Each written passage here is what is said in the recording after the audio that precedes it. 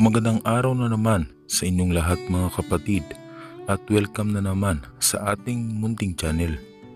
Isang panibagong video na naman po ang aking nai-upload nang sa ganoon ay makapagbahagi na naman sa inyo ng isang lihim na karunungan. Sa video pong ito ay may mahalaga po akong karunungan na ibabahagi sa inyo. Marami-rami din po ang nag-request ng karunungan na ito. Kaya naman po ay ibabahagi ko na ito. At ito po ay tungkol sa pagpapabalik, pagpapaibig muli ng isang tao.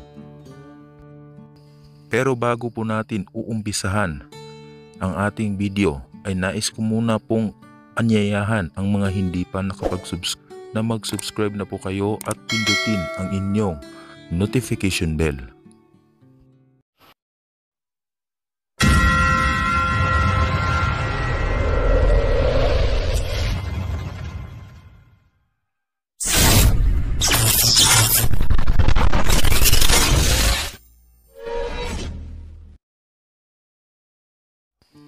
Marami sa ating mga subscriber ang nag-request ng karunungan na ito.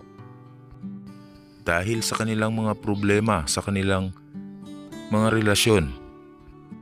Napakadali lang po gawin ang pamamaraan na ito. Ito ay ginagamitan lamang ng isang larawan ng tao na inyong mahal na nais ninyong bumalik at umibig muli sa inyo. At kailangan din po na alam ninyo ang tunay na pangalan ng inyong mahal. Maaari pong gamitin kahit na sa dayuhan. Basta't gawin lang po ng tama ang pamamaraan na ito. Sigurado po na ito'y mabisa at malakas.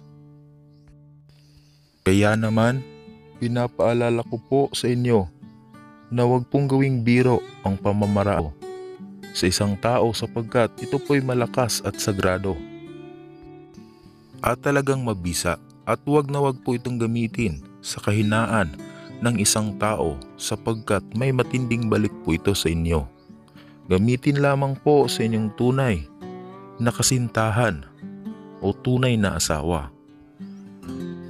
Ang pamamaraan pong ito ay dapat ninyong simulan sa araw ng Bernes.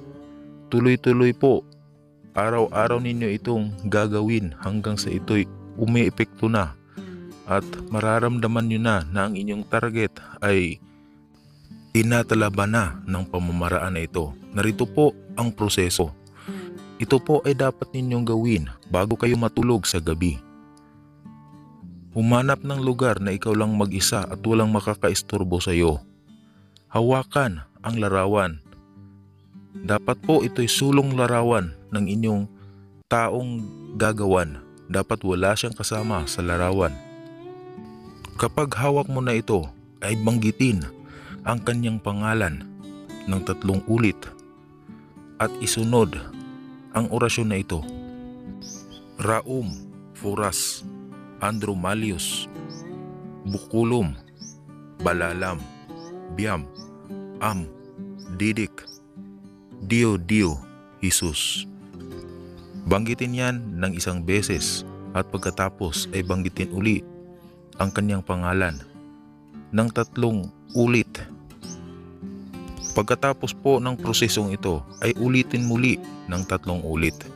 At kapag natapos na ninyo ang tatlong ulit ay isunod na ang inyong kahilingan tulad ng Iibigin mo akong muli at ikay magbabalik sa akin. Mamahalin mo ako habang buhay.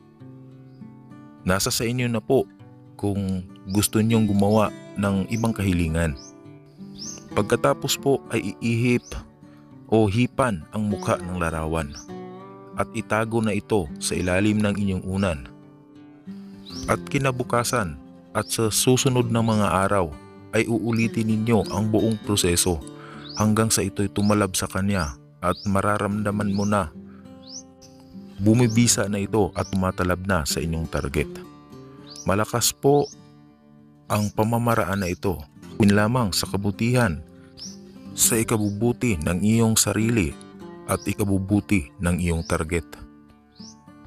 Sana po ay makatulong sa inyo ang karunungan na ito. Ingatan po ito. Hanggang dito na lamang po ang ating video. God bless po sa inyong lahat. Ingat palagi.